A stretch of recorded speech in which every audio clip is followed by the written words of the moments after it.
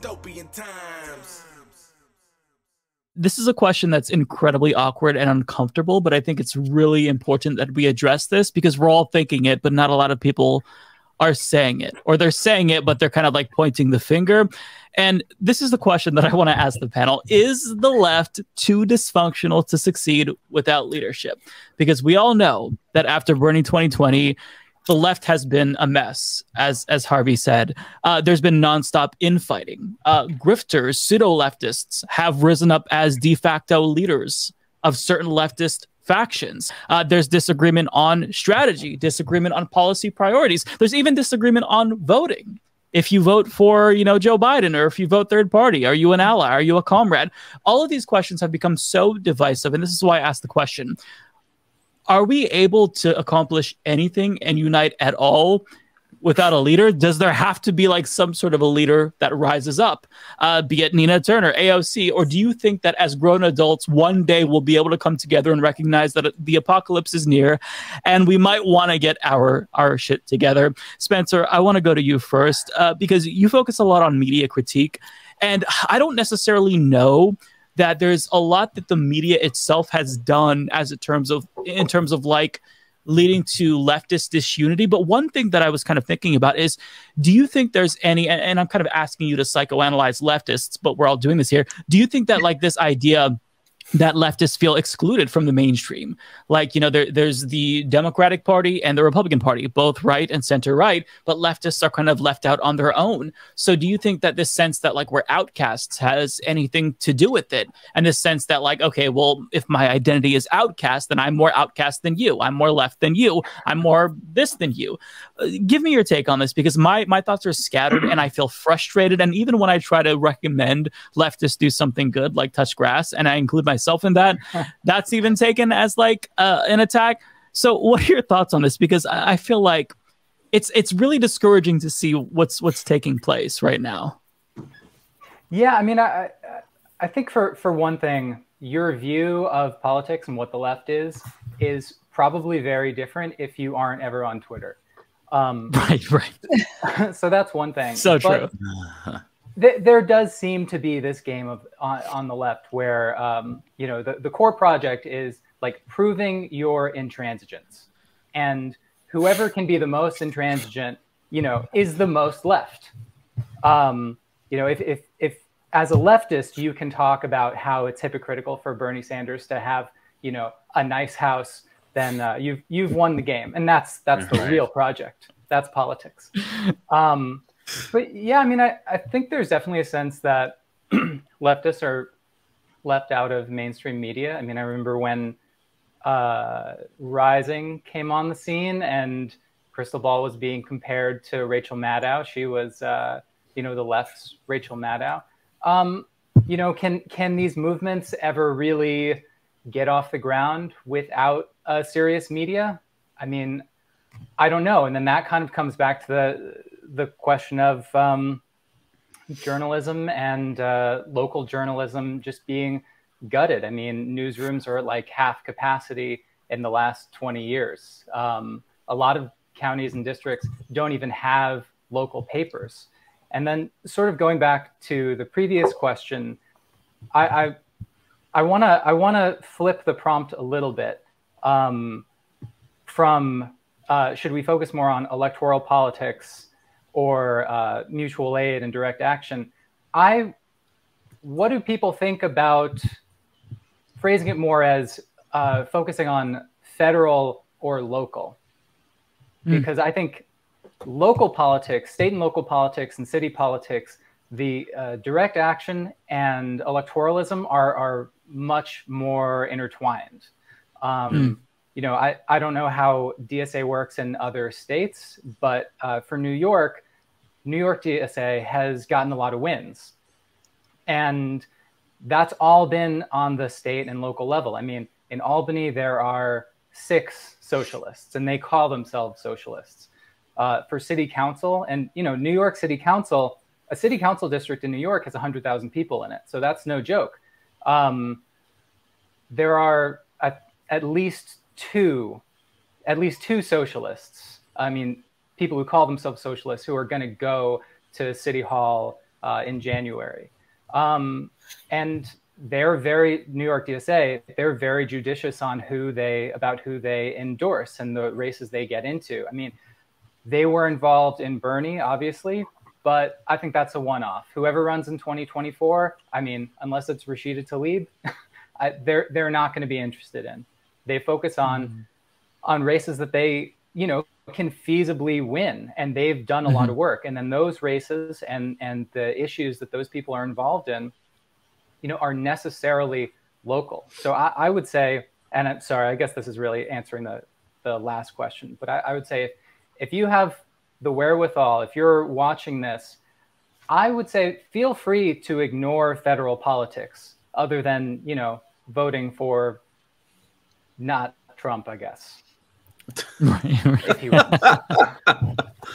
yeah, yeah. No, that, I think that's a good point about the uh, federal versus local. I think that that is a really important distinction, and um, it's important to kind of like draw those lines for people who um, you know, don't necessarily know any better, better, or they tune in and then uh, tune back out. Yeah, yeah. There's my thoughts on the issue um, in, in terms of leftist infighting. It also does go back to electoralism, where there's this sense that, um, you know, if, if somebody is focused on electoralism, that's negative, or if they're only focused on uh, on direct action, that's that's negative.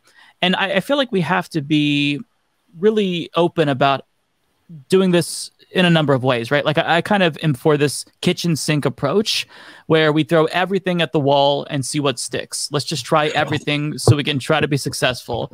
Um, direct action, electoralism, everything we possibly can do. But it's kind of getting to the point where leftist factionalization has almost become a hindrance.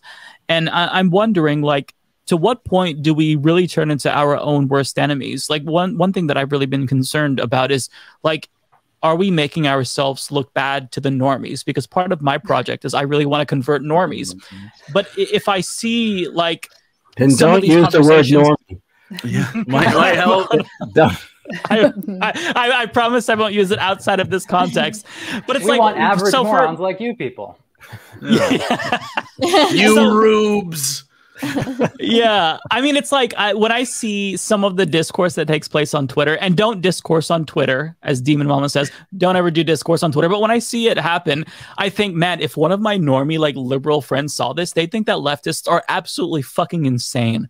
So I, I just, I kind of feel like we all need to give ourselves a pep talk. And Hector, you've like you've stayed busy and above the fray as the lefts leftists kind of like shit the bed um everywhere like what what's your take on this? Because my again, my thoughts are really scattered, and I'm just trying to like find some way to like unite leftists that are still on the left that are well intentioned and i don't necessarily know that there's any one magic bullet but in your opinion like what would help?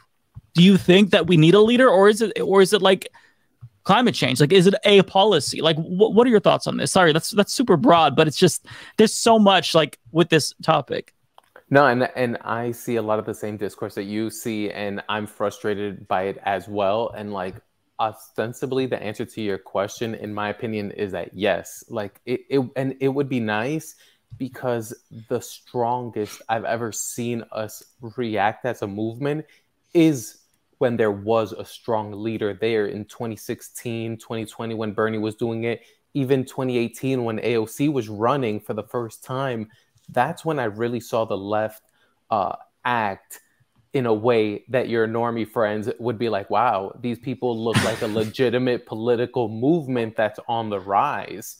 And the thing about the left, and we touched on this before, is that we're just going to have a higher standard for who those leaders are. We're not going to fall in line to the extent that the right does and say, well, we can sell this person off enough to the normies, so let's stick with this person. Our leader, whoever it is, will and and I think that it'll have to be something just because of the way the left is. It'll have to be people transitioning in. We won't stick with one leader for too long because I think that we have a lot of factionalization.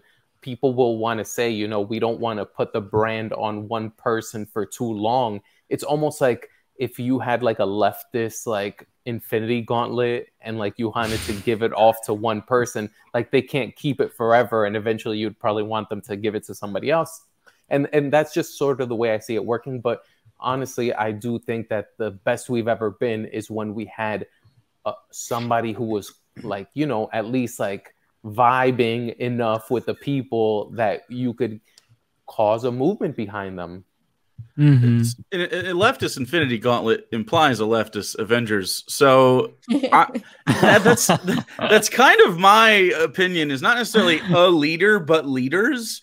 Like like the civil rights movement, MLK is like who we think of, but there was many. There were so many people just for that movement, which obviously led into a, a broader leftist movement. And I think maybe that would be a good way to go where you have people like you know a bernie sanders in there that sometimes is like you know clearly like the the top person that we're excited about but I, would it be the worst thing to ask for these any major leftist organizations to like get together at the in the same space and do a thing and like actually make Yeah. a broader movement because i feel like you know we're all very disparate and we, we interact with each other in ways and and i mean even on in the smaller versions of this like twitch communities or youtube communities like this kind of thing happens but most of the time we end up yelling at each other. So like right. what what what about like a summit? What, what couldn't we do something to that effect? Like i mean i'm i'm small potatoes as far as like actual political like people things happen but we know enough people around to like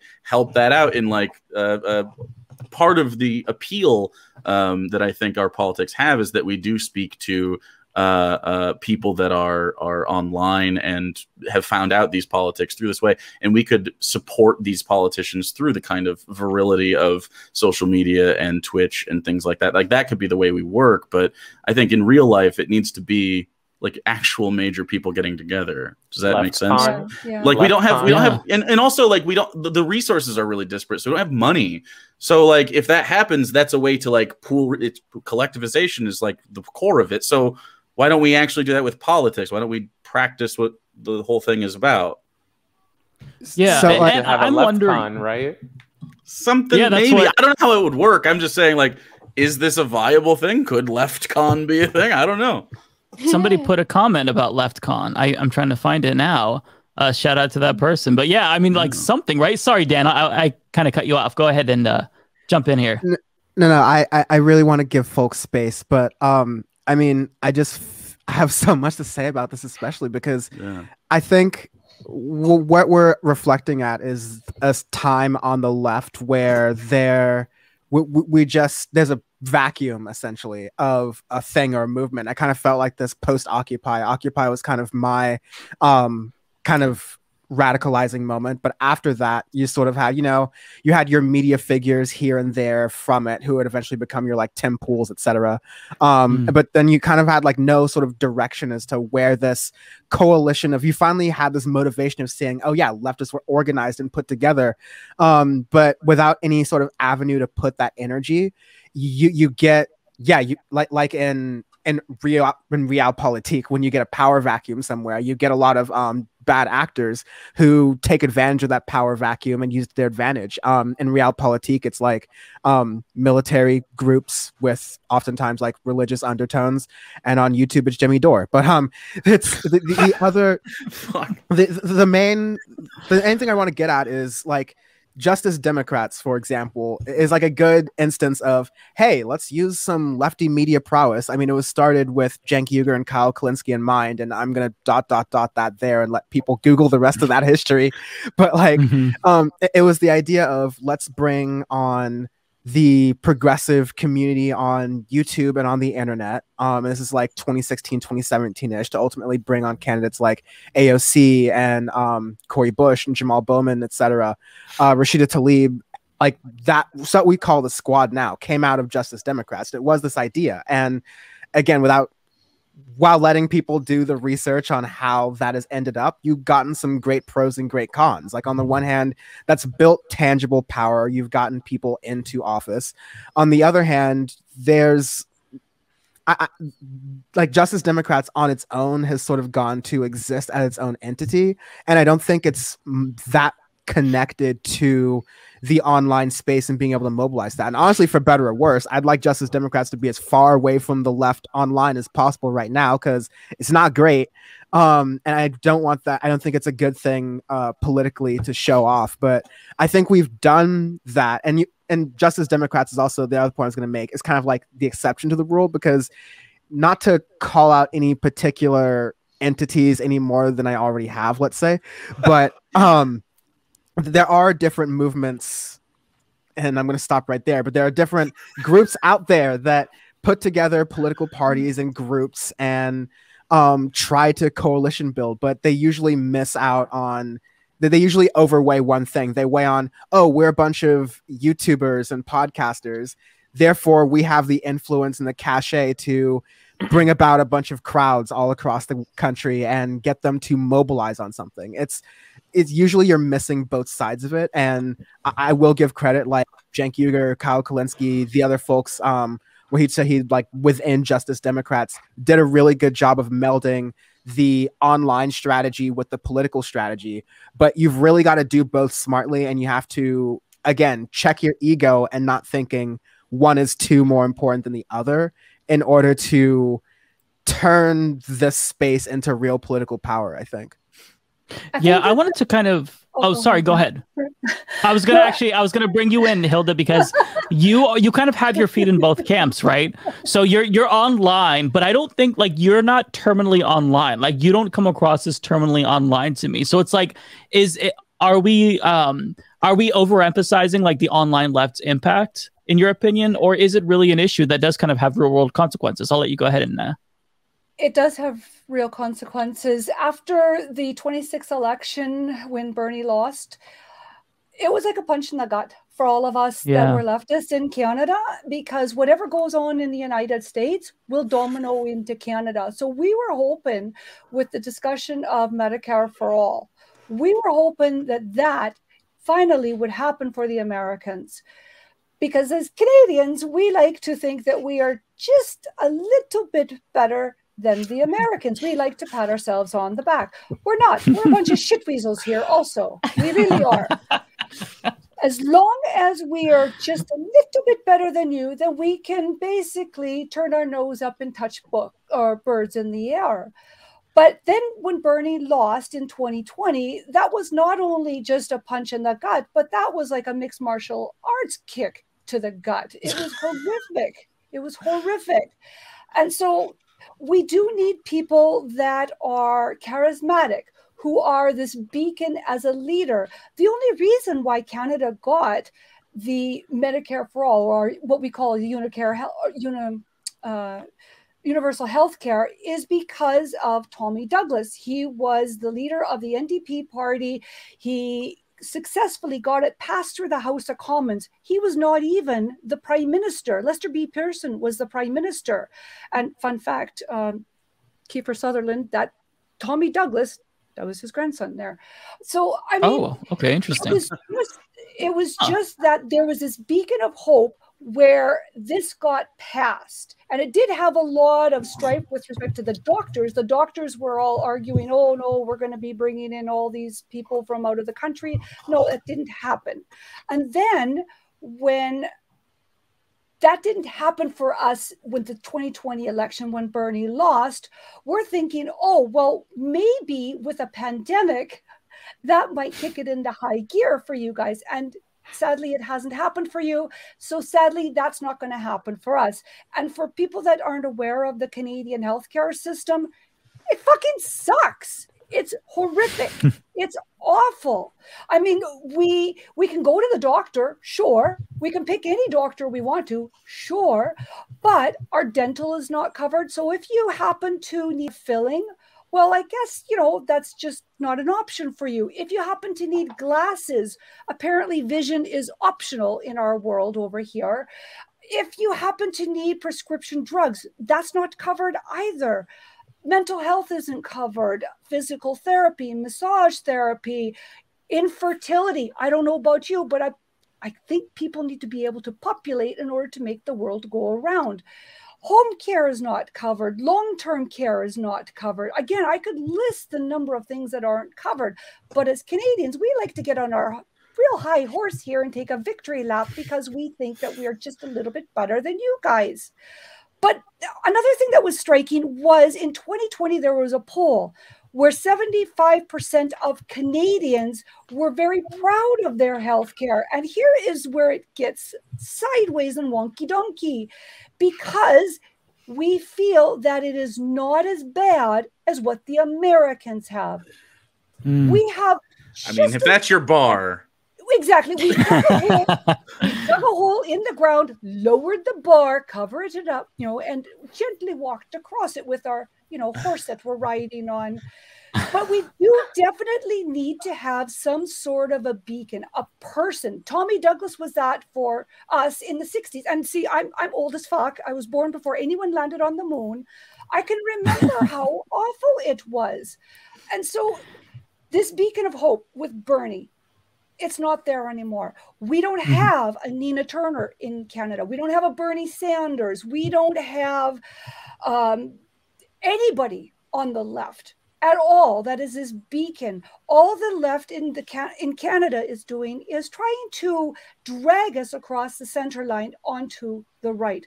There is mm-hmm. no reason why we shouldn't be yanking them over to try and have that discussion with us, which goes back to the original points that I was making in the previous section, where we need to put people in strategically placed positions of power. We just, we really do.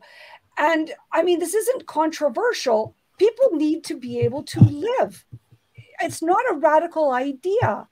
And so right now, because Canada's in this what we call the erection of election mode, meaning we're erecting all of our signs and you know getting ready, and people are measuring themselves against who the other candidate is. But unless we have some leader to unite us, then we will not be able to focus and amalgamate and consolidate all of our efforts for the greater good. We just won't. Yeah, what I'm wondering is, uh, it seems like the consensus so far with everyone who's who, who's uh, spoken on this is leadership is really important. I mean, one thing that I always go back to is Occupy, as Dan brought up, and how you know the, without any leader. I mean, sure, it's admirable that it's horizontally organized, but at the end of the day, you do need somebody to kind of be the face of that movement. And so my question to Harvey is like, do you think that absent of some sort of an actual like leftist superstar, can unions, can organizations do the trick? Um, or do we actually need someone to be like the face, the icon for the movement? Like, I, I, I don't want to be like uh, putting too much stock into celebrity worship, but it really felt like having Bernie, like this idea of him being president, really united a lot of people. And so I, I just don't know like that we're going to get that again, at least in the near future. So is there anything else like a lower standard that we can try to hit lower, to like, lower you know what I mean? Like, I, am just, well, it, like, it, is there anything else? It is fascinating to consider the fact that between Bernie, who turned 80 today, I think it is. Yes, today. Right. Happy birthday, Bernie. Okay. And the squad. What, who's the oldest member of the squad? Probably Tlaib. I believe. How old is she? Not to be prying into her personal life, but mid forties. Yeah. I mean, think yeah, mid early forties. Think about the gap there. Okay. I, I don't know how old Ro Khanna is, but you think about it, in the Democratic Party, at least, there's this, inc- this amazing sort of age gap between the most prominent left figure in America and the rising stars. Now, the fact that we're on the verge of dystopia becoming apocalypse, leaving that aside for the moment, the, the prospects for the left are great if you think about young people, you think about your generation. Mm. I mean, the prospects are great. So the question of leadership is, is, crucial. Okay, for what it's worth, I you know I should have said this at the outset. My campaign, my crusade for some years now, maybe not as many as I think, has been to try to get younger and older politicians in America to start talking uh, about something like an economic bill of rights that FDR mm. proposed that mm. Bernie tried to resurrect a bit, but didn't do it enough. And and it, it's I can tell you, and you're not gonna you haven't heard a lot about it, but here in Wisconsin, it's definitely becoming a, a possible cause. It may mm. well become that in California in the next couple of years. So So, I mean, there are things underway. Now, in terms of leadership, I mean, I've already made clear that I don't think the left can ever redeem itself without the labor movement redeeming itself. I, am quite mm-hmm. serious about that.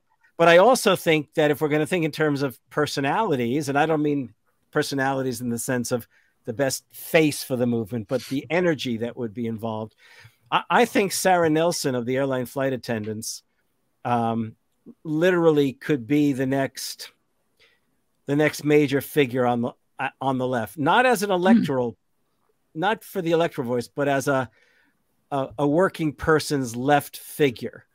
And the only question is whether or not the labor movement will allow her to prevail as opposed to splitting into their respective, you know, trade unionism versus industrial unionism versus service unionism. I mean, but it, but she, she's incredible, absolutely incredible. And, and, and there are other folks around the labor movement like that. Now, um, again, in politics, I'm, you can see this younger generation emerging, but there's that real, I mean, who's there in their, in their fifties, say, because that's kind of a prime moment to, to emerge as a major political figure. I don't know. Oh, by the way, can I just go back and make one comment? We, we were talking before, and I was whoever said it. I don't know it was Hector or or Jake or whomever. And I was thinking, yeah. So Bernie was this angry old guy and AOC was this sort of talk about uplifting kind of figure.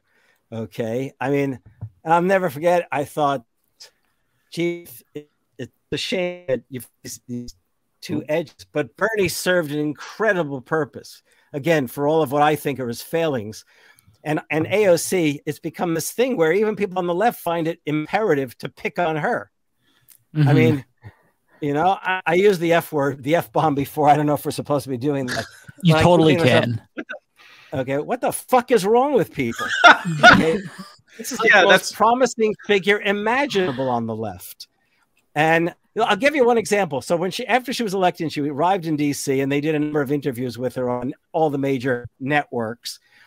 And she she she said something really interesting, and I thought this could really make a difference. She talked about Lincoln and Roosevelt as as really progressive, radical um, figures in American politics. We can fault them. We, we can definitely fault them. We can take anyone apart, by the way. That's something else. The left has got to stay, start taking apart heroes, got to stop taking apart heroes. Okay. That, that is like ridiculous. But, and what happened? My own peers, a couple of left historians, criticized her for making too much of of Lincoln and FDR and talk about fucked. I thought, what, the, what the fuck is this about? And it made the New York Times. They actually it made the New York really. Times.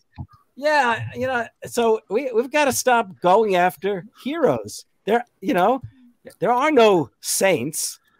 That's all. There are no saints. Got to get over that. Okay.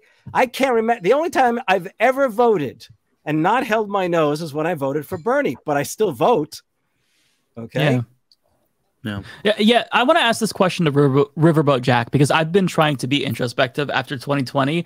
And like I notice even myself, like kind of to what uh, Professor Harvey was talking about, I even notice myself like nitpicking politicians who I like, where it's like they'll say something and it, it's not even necessarily that meaningful, but I'll just in my mind it'll like trigger me and like my lizard brain will start like going all crazy and like the the red alerts will be going off. So I mean like do you think that the left does have this issue of really tearing each other down? Not necessarily like just leaders and, and like um heroes if you want to use that word but like just each other as well. Like i think that that's part of the issue. It's like we we really tear each other down and even if we weren't political um if the left was like some other amorphous organization around some other thing that would still be super toxic. So do, do you think that overall this is a widespread issue of us just like ripping each other to shreds I, I think that it, it's a couple of different things, right? Like I think it comes from the fact that a lot of uh, a lot of people in the online left are extremely online, and right, right. A, a lot of us are, you know, we're we're trying to claw for clout, you know, essentially, because it's like mm-hmm. it is our job. They're like this is our this is our little fiefdom that we're building up, right? And a lot of us don't necessarily have like this unifying overarching goal right? Like we we agree on a few things, right? Like Medicare for all, but if like it doesn't look like we're getting traction on that, well, then the next best thing for for your clout is well, I have a controversial take on Abraham Lincoln, the most beloved American president, and that will get me a lot of internet clout, right? Like but there's nothing that's going to further a leftist mission in attacking Abraham Lincoln, right? Like really that that is an ego building exercise. It is a, a online clout building no. exercise. It's not something that's going to win you political support. And if we're talking about actually making a difference, then yeah, we need to actually have this focus on our rhetoric and focus on our subjects and focus on these larger issues that we agree on, right? Like we should we shouldn't be getting bogged down in the weeds. We should be talking about, you know, labor, organize how to how to organize a union, how how to uh, if you wanted to organize a democratic workplace, how to uh, go out and make a difference and further the cause of Medicare for all. We need to talk about these things in a way that actually furthers our goals rather than just our own personal uh, ego essentially. Yeah. And I think that that's something yeah. that is lacking. Yeah, I think that you know, for all these these issues that we're bringing up, it kind of centers on like the terminally online, and even though that is a detriment, like being online has a lot of negative side effects, it also should, in theory, really emboldened the left. I mean, we have someone on from Canada, Hildebeest. We have Pix from Australia. So why isn't there this opportunity for like an international leftist solidarity movement? And I really feel like Michael Brooks was trying to like force us all in that direction, but something just you, you know, people, I, I, don't know what it is. Pix, do you want to weigh in as someone from a different country, like seeing the shit show play out here, and then you also kind of have your own shit show? Like, what is it about the left that's just like incapable currently of, of coming together and, and doing anything? I mean, we have the easiest issue, in my opinion, to rally around currently is climate change because it affects all of us on the planet. So I feel like that should, like, that's not this one insular thing. Like, it's not, oh, well, there's this community that doesn't have um, housing or there's uh, this country without Medicare for all. Like, this is the one thing that should, in theory, facilitate this building of an international left, but it hasn't happened. So, like, what's your take on that? I, I mean, it's hard to psychoanalyze everyone on the left, but. It, well, I I, th- I agree. I think there's a few things that come into play. I think what we're really struggling with at the moment, not only online but globally, is um, our overall conceptualization of leadership. So basically, our our conceptualization of leadership still looks like a cis white strong mm. male figure, right? And so on the left, where you know, generally we like to be very inclusive of, you know, lots of different oppressed groups who are fighting for their own, you know, dear cause, right? We are in a place where we need the support of white men, basically, to lift up marginalized voices and to um, make sure that the left, as a wider spectrum of people, are also um, lifting up marginalized voices, indigenous voices, queer voices, all of those things. And so, what I think ends up happening, especially online, is that we see, you know, if, if you look at the online political space, which is where I am, and you see the leaders in the space who are generally white cis males still, right?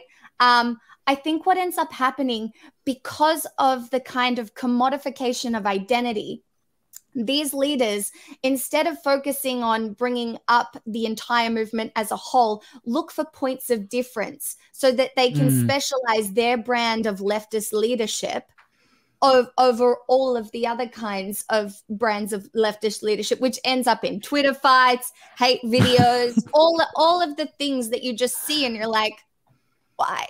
Um, so I there's so many things that are happening, but I think what we really need to focus on as a co- cohesive movement because we we have major opportunities right now with our access to information, the internet. Look at us all having a conversation right now.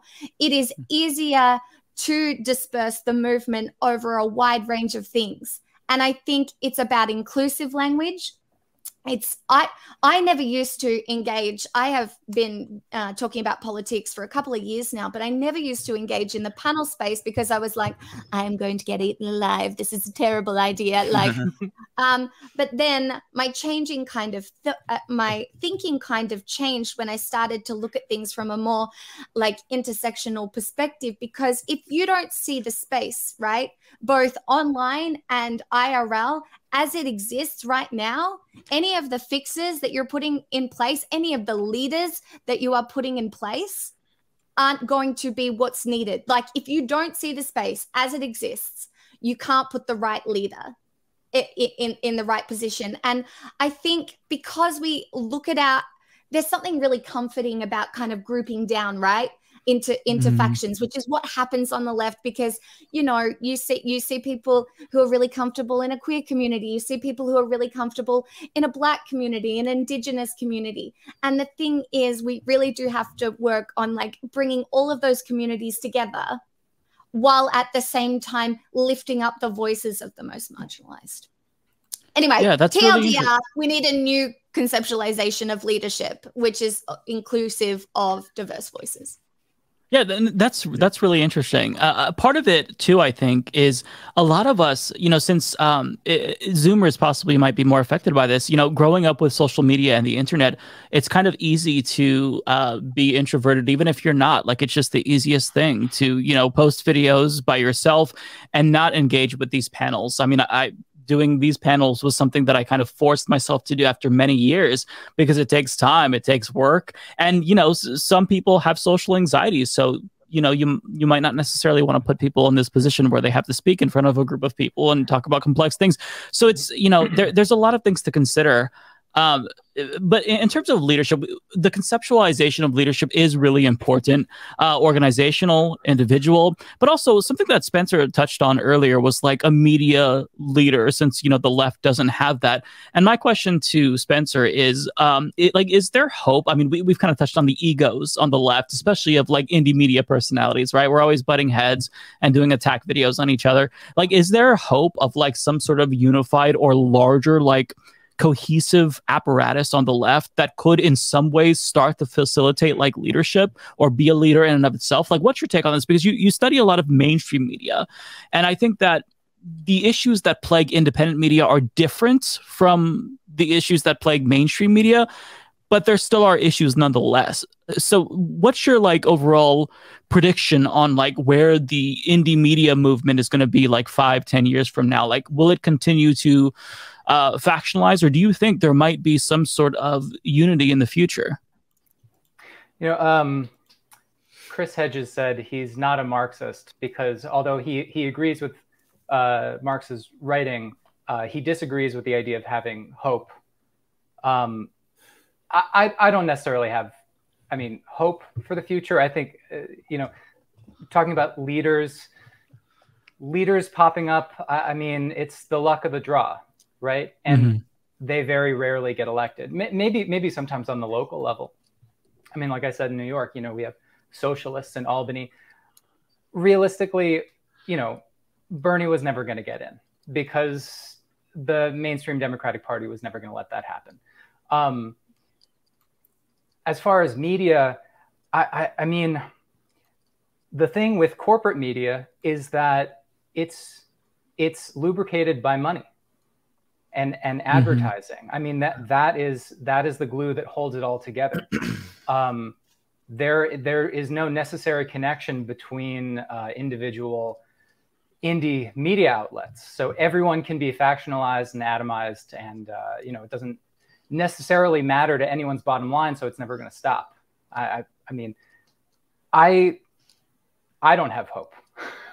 I mean, yeah. you you you you you fight because you have to and you do what you can um, in movements or mutual aid or direct action you show up to protest to uh, you know as, as much as as much as you can. You talk about the things you want to talk about because you know hopefully it's helpful. At the very least it's cathartic. I mean a lot of the topics of my videos are just things that i saw on tv and i felt annoyed about enough to do a video on.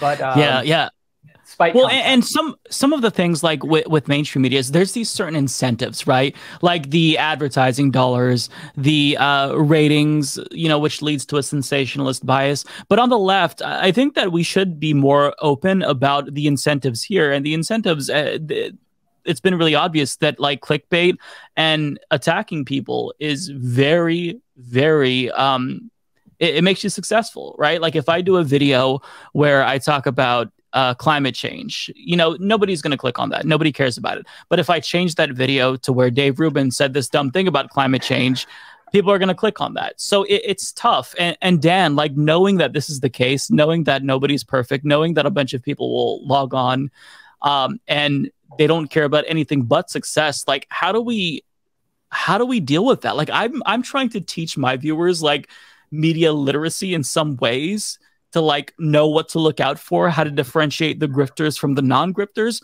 but it's really tough and you can see how easily people can get duped by like charlatans online so that's part of the reason why i think that the left is so dysfunctional. Um did you want to add anything to that? Because i feel like you know it's a lot of the divisiveness it really is bad faith in my opinion. Like i think that disagreements with the left who has high standards i think that's to be expected but like some of this is unnecessary if people realize that some actors on the left like jimmy dore and other other folks are just like they don't care about anything but views and clicks. Yeah it's hard because this was one of the hardest things i had to um reconcile with as a producer at TYT, which is, I guess, something that I think we all know as content creators, but that, yeah, as you were alluding to, climate change, we can all agree that hands down, like face value is like the most, if not one of the most important issues facing us. It's like a dire issue. You make a video about it, it's going to be your worst performing video. And if you have a business to run, or if you are trying to monetize your channel because you need to to survive, then it, it's weird. But like you have to make that decision of like either I cover that video and take the monetary hit. And at TYT, at least you have the privilege of being at the scale where we could do that from time to time, and that didn't matter as much. Um, or you decide to do the video with a spin that you know that'll help it get more views. Another thing is like putting if it's a Trump video and if it's Trump talking about climate change, then there it'll do well. But so and I, I would often talk with friends and have like really like long drunken discussions at night about like why are you making all this content? And i would kind of go why are you consuming all of this content? I would very much love to like and i would say that jokingly not of course like blaming the audience but like I, I would love for the platform to incentivize me to make other things. Um I, I, I want to like an ideal world we would all love to make the exact things we want to make regardless of whether or not the platform prefers it but whether or not it fulfills us whether or not it feels like it is um, providing our audience with valuable and important information that we feel like leads them to whatever action we want them to have. And we can pay our rent. Like we, we want to be able to do all those things but that isn't our decision. It's the algorithms and kind of people's behavior and choices. And so i wrestle with this all the time. My next video is a climate change video but like like um it, it's the same issue where I've had to abstract the idea of climate change so far away from what the video is about that when it finally drops, you're probably not going to realize it's a climate change video until six minutes in. And that's kind mm. of the trick is I'm using like a am using like a flashier topic to try to appeal to an audience that doesn't usually think about politics, but like there's I mean, to give a little bit of the game away, there's different communities on YouTube. There's video game YouTube, there's tech YouTube, there's car YouTube.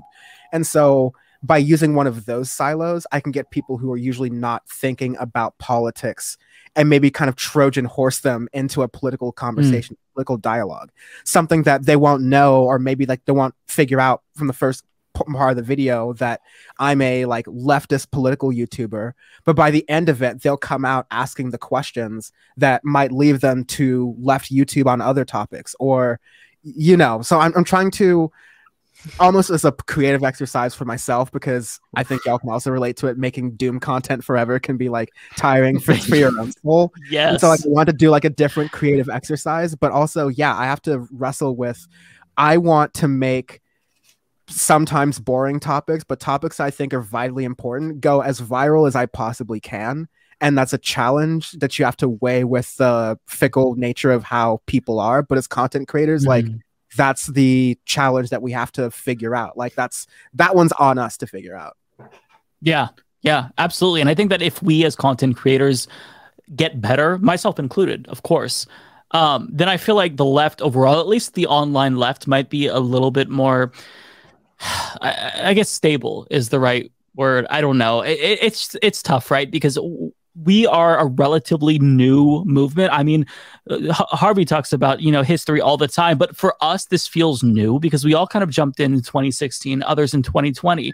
You know, our political awakening coincided with Bernie Sanders uh, becoming president for a lot of young people. So they, it feels new to them, and they're kind of finding their footing. And there's going to be growing pains, but I feel like it's all part of the process and, and the fact that we're having conversations about our flaws as a movement is really healthy um, especially like as content creators right? Because if you're a content creator like you really benefit from creating this cult of personality where you're like I, I was right about this this and this and i'm i'm never wrong i'm i'm awesome. But like to actually kind of like expose the human side of ourselves is just like people who talk on the internet. I, I think that, that there is value in that um, even if you know it's you know not necessarily conducive to monetary benefit as you know we were kind of talking about.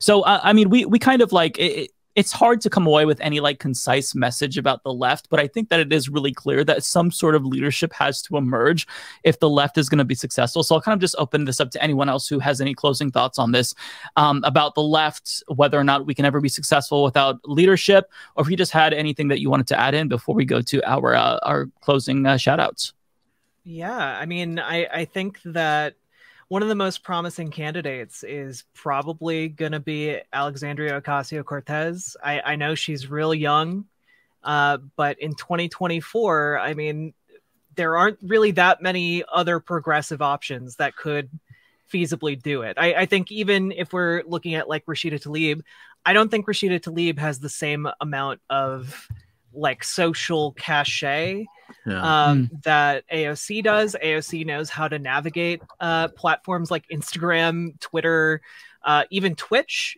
That is something that she can leverage to uh, great effect and has in the past. And I think that if I recall correctly, there was a poll that came out during t- the 2020 election that showed like three fourths of Democrats would happily vote for AOC.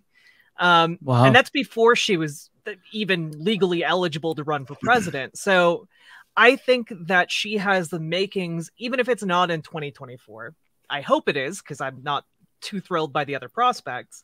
But I think that there is a lot of the ingredients and makings there of a really powerful leader for the left that could go forward. And I, I, I hope so. I I do think that while we could talk about a leaderless sort of movement that would be great, um, I think that having a leader for a movement definitely helps in our current uh, kind of duopoly between uh, yeah. Republican and Democrat. Just the way our system is set up, having a leader is really helpful. Yeah. Does anyone have any her... hopium? Oh, I, I do. Sorry, go ahead, Jake. I have tons of hopium, but uh, uh, in fact, in fact, quite literally, I do not allow people to doom in my chat. But um, uh, I was I was going to ask a question. Someone brought it up in chat, and I thought that's actually kind of interesting, um, just because of the way American politics works. Um, this is kind of a weird question. Like, like, do we want Alexandria Ocasio Cortez to be like political her political uses you can't like go back into congress after that right? Like is that good to use to to be like this person's really really young and then uh, try to have her be president and uh, hopefully she can be but imagine she wins. She's no longer in, in a career politician as a very strong progressive voice for 50 years. She's there for you know eight is that reasonable or weird or that was just a I question mean, I never thought of until I, now. I think that mm. makes her more valuable to the left. Yeah, like being I, that's a, that was my inclination a, too, but it was an interesting question. A young former president who can go out and stump and campaign. Yeah. I Wait a minute. I think I heard about this guy. His name was Barack Obama. That didn't work. true. well, true. Well, no, I think I think Obama was largely defeated by Obama in that regard. Yeah, yeah, yeah. Pix, did you want to jump in with some hopium? I, I, I have some hopium, and it's not that I disagree with Spencer in regards to having hope for fast systemic change or anything like that. But leftist politics at the moment are based on hope. In order to mm. motivate people, there has to be a sense of hope. Otherwise, it's too hard right?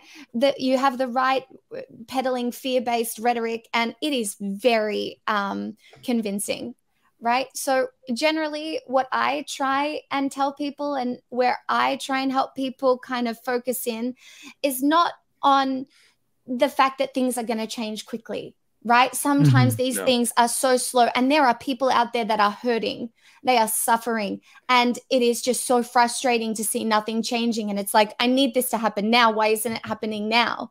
And uh, you can see how they become extremely apathetic to hope based politics when everything that the future holds right now, when you look at all the issues, you're like, whoa, this is uh, a lot. But I think if you can focus on the idea that no matter where we go, no matter the climate crisis, no matter all of the things that happen over the next 20, 50, 100 years, there are always going to be people fighting for good. There are always going to be people out there in their communities trying to do the right thing for other people. And like, yeah. I, I think that is a human strength. And I think it is a strength of the left that we should really focus on, that we actually care about one another and we can take that going forward into anything. Yeah, I've been around the block for, well, I've been a political junkie for about, oh, 50 plus years. And I see the waves and the cycles that come through. And I echo absolutely with what Pixel says. It's, the the incredible highs come with incredible lows but then mm. the hope that and the learning that comes from all of that is what pushes us and drives us to be better to do better and to reach out to others to say hey it's going to be okay. We'll catch it next time. And sometimes we do catch it next time. Sometimes we don't. Right now we really want to catch some good luck because we could really really use some and I know that in my chat, it can get quite doomer, which is why I have a like a, a Doctor Who wine fridge in behind me. I, I gotta have that because there are days where it's so so so doomerish, but we always have hope. We always do. Yeah. Is that an infinite wine fridge, by the way? It holds three bottles of wine. no, it's Doctor Who, so I want you know. the, the one thing I'd I'd add on to that is that failure isn't ever complete, right? Like mm. every failure is a chance for us to learn way more than we ever would have if we had won. And so if you run for office, if you get a group of people to help you try and get into office and you fail, guess what? You you just learned a whole lot. And that makes you valuable. You know, uh, if you, whether you're an individual actor or whether it's uh, you know, Bernie Sanders and his campaign, a lot of talented people learned a whole lot about politics and are using those skills, carrying them forward to make either local, state, national fights that much uh, more likely to succeed. So uh, even even when we fail, don't don't let that cause you to crash and burn. Okay. Yeah. I think people yeah. it's part of the process you don't have to use the the hammer from the hammer and sickle just to smash stuff. It's a you can you can build things with it too. Uh, you know, it's it's I I think people people it's very very easy to be like that's too hard. It's mm-hmm. so easy to do that. And it's not as easy to be like and here's how we fix it. Um and I think I th- for me in my community, I feel like it's my responsibility to not let that attitude happen. Um because it can it, we can we lead to complacency so quickly just as a as a society especially americans in general when things are difficult. Mm-hmm. like we like to think we're like these blue collar hardworking people no we, we're whiny a lot of the time. We really want we have a very very comfortable living situation.